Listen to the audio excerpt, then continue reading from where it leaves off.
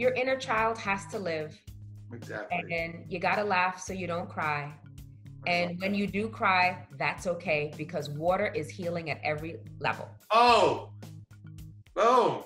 From her death, I learned to live. I learned to make time for me, to smile, to sleep, to eat, to drink, to cry.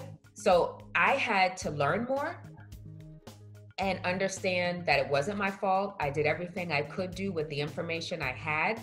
And if I could help others, then I can help me.